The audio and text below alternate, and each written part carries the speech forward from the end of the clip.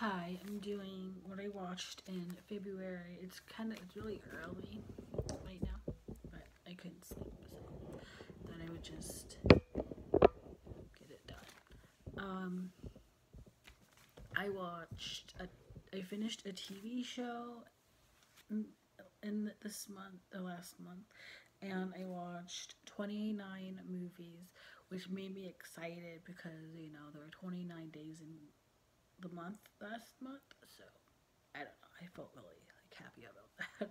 but I finished Desperate Housewives, and I enjoyed it. There was a lot of like storylines that like frustrated me. I hate Susan Mayer. She's one of my least favorite TV characters of all time. Um, but then the day after I watched it, I woke up and I learned that Orson Bean, who played Roy, was hit and killed by a car while crossing the street, and that just like made me so sad because he was 91, and that is the way that his life ended was getting hit by a car while crossing the street, and that is just too sad. And but we loved Roy and Karen and Kathryn Joosten, who played Karen, passed away tw- 10 days after her character died in the finale of Desperate Housewives. They both had they had cancer. Both the character and the actress had cancer, and they both died of cancer. So, but Kathryn was great as Karen. My favorite character is Lynette. Um, my favorite couple is Lynette and Tom, but I also love Gabby and Carlos. I don't really like Gabby as a character, but I love her with Carlos. Um, I also loved Bree with Keith, and I wish that he had stayed around a little longer. Um, I love her Bree's growth, but I did a whole like video about Desperate Housewives, but yes, I've seen it another show off my list of a lot of movies that I've been, a lot of TV shows I've been wanting to see. So, okay, now I'm going to go into the movies. Again, I'm just going to go and tell you the ones that when I get to a movie, if I've seen it, if I haven't seen it, and if I own it, I actually found all the movies that I own that I've seen this month, which is good. Okay, so the first movie I watched was The Adventures of Baron Mercer, Mercer, I don't know how to pronounce it. Cole Sprouse is one of my favorite people now, all of a sudden, and like on a few weeks ago, he was posting movies that he was watching on his Insta story, and so I was like, I want, I watched all the movies that he put, and surprisingly, I had seen like most of the movies that he had put up but there were three that I hadn't seen. So I watched them. And uh, that was one of them. And it was a really fun movie. I enjoyed it a lot. And then I watched Johnny Babe. And that was really good. It was it's a horror movie and it was great. Then The Fall is one of the most gorgeous films I've ever seen. And it was a lot I didn't really know what was what was gonna be about. I just I've seen a lot of like like screenshots from it and I thought it looked beautiful and I didn't really know what the actual story was and I enjoyed it a lot. Um, okay, so, and then I watched uh, Valentine's Day. I watched uh, The Fault in Our Stars. My mom got this for me for Valentine's Day. I had seen it before, it's not a new to me, but um, I don't, I, I actually don't really like this. Like, the movie doesn't really do anything for me, I have to be honest.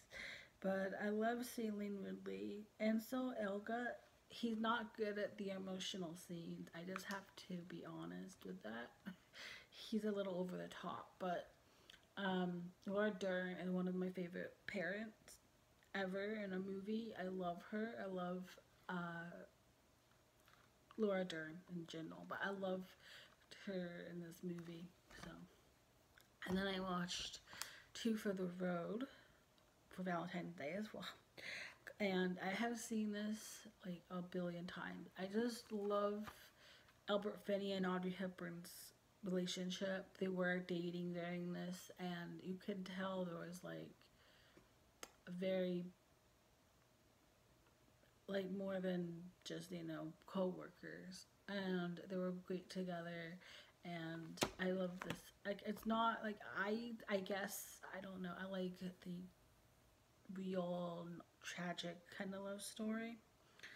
Um you know I forgot to put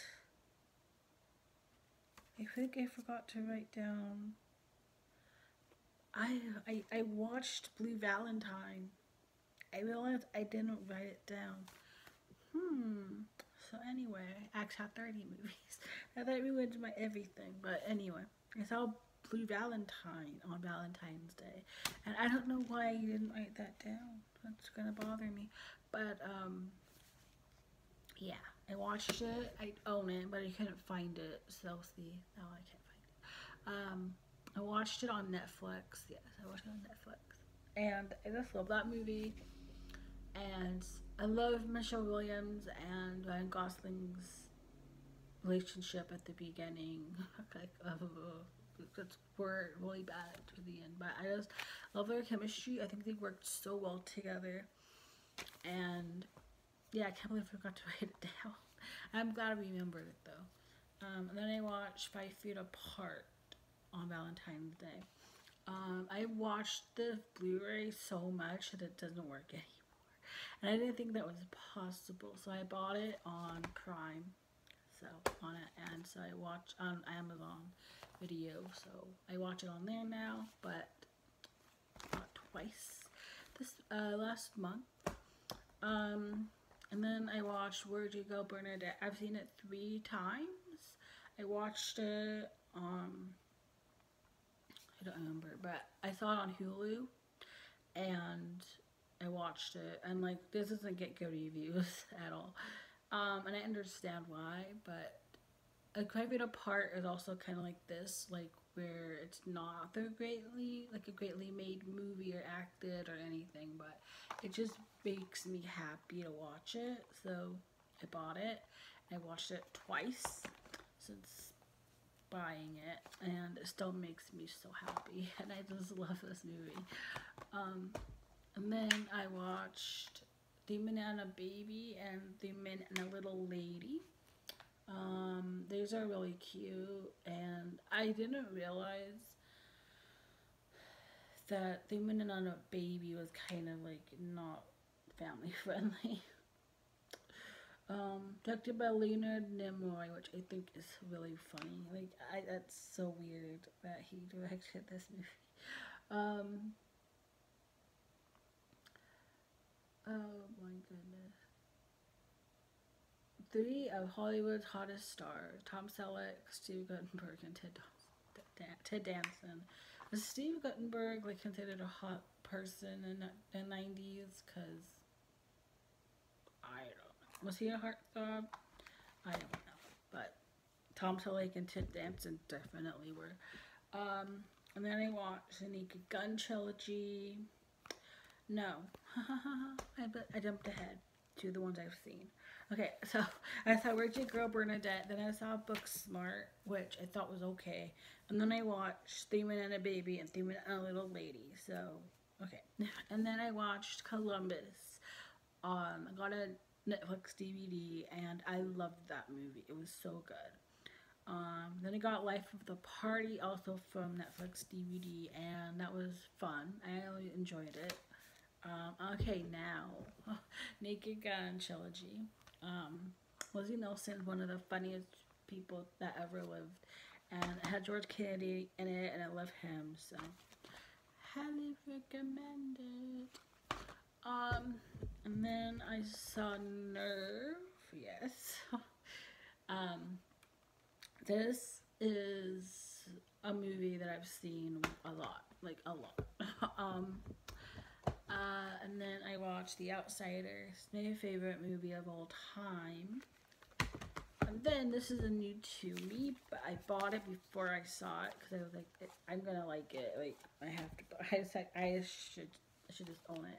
Beautiful Day in the Neighborhood um, was beautiful and great, and I'm gonna watch it a lot now. But Tom Hanks and Mr. Rogers are like the best combo in my opinion. I'm so glad it was Tom Hanks who played him. He did such a great job. Um, okay, let's see. Alright, and then I watched um, Holiday um, on Thursday. Yes, on Friday. Um, I had a stressful work day on Thursday, and then thankfully we were closed on Friday, so I got to chill and I watched all of like movies that bring me comfort and like calm me the hell down. And I watched Roman Holiday because this movie is just like great for that. It's a good therapy movie. like if you're going through stuff, watch it. Makes me so happy. Watched Funny Face, which is another like happy, chill movie. Um, and then I watched The Little Mermaid, my favorite Disney movie. Um, then I watched Totoro. And then yesterday, not yesterday, on Friday, yeah, on Friday, I don't know, it doesn't matter, it doesn't matter. then I watched Lion King yesterday and Knives Out yesterday and I enjoyed Lion King. Knives Out, I enjoyed. It was very, very predictable. I already knew how it was going to end, but I enjoyed watching it. Then, uh, last for my collection is Cinderella. Watched it yesterday. Yeah, I watched those on Friday because uh, Lion King and Knives Out was yesterday. Was yesterday. Um, but yeah, then I watched Cinderella. Oh my god, this is annoying me. Okay, you know, yes, I, I watched Lion King and Knives Out yesterday, and then yes, yes, yes, yes, yes. I watched these all yesterday. Um, and then um, I watched um, Where'd You Go Bernadette again. And then I was on Twitter and Netflix was saying all the movies that are going to be taken off uh, yeah, last night and there I had seen all of them except for three. So I was like I want to watch them. And wanted to watch them for years. So I was like great. Now I get to watch them. I watched Junebug and like the beginning I wasn't a fan of it at all like I was like Ugh. and then the hospital scene with uh, when after Amy's character loses their her baby, that was so well acted and was so sad and like then I was like, oh my god, that's a beautiful movie. And then I watched Hustle and Flow, which is now one of my least favorite movies I have ever seen in my entire life. And I don't know what all the Oscar buzz around it was when it came out. Like, I don't understand it. Um, and then I watched Riri Never Sorry. I don't know how to say his name, but that was a very good documentary. And he he's a good, he's a hero in a lot of ways. So it was a mess, but I did it. And you know what I watched. And that is all. Goodbye.